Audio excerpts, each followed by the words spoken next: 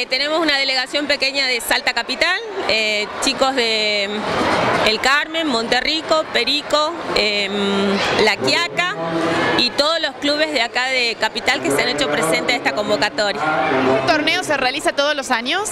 Sí, lo organiza el Centro Deportivo Municipal número 9, eh, junto con la Dirección de Deporte de la Municipalidad de San Salvador de Jujuy. este calendario, en realidad nosotros damos cumplimiento a un calendario que se confeccionó en el mes de febrero y bueno, y somos anfitriones en esta oportunidad, eh, la Dirección de Deporte de la Municipalidad. ¿Cómo es el nivel en general de, en gimnasia artística en Jujuy?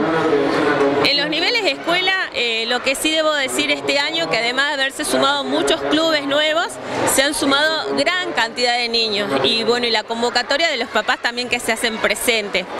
Eh, desde el primer torneo de este año hasta ahora vemos gran mejora porque aquellos profes o entrenadores que son nuevitos en la competencia van conociendo un poco la reglamentación y así vemos que van progresando. En el nivel avanzado que es por la tarde, que es C3 y C2, eh, también son menos participantes y eh, la ventaja de la competencia del mes a mes hace de que eh, los chicos corrijan técnicamente y además también hay un factor muy importante que es el emocional. Vemos que están mucho más sueltos y no están tan ansiosos o muy afligidos de hacer bien la serie.